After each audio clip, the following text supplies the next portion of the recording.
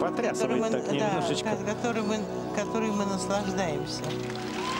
Очень хорошо. Тройной тулуп. Канадка молодец. С, большой, э, с большого хода. Кадом из двух тройных тулупов, то есть младших прыжков, вполне можно быть конкурентоспособной на приличном уровне.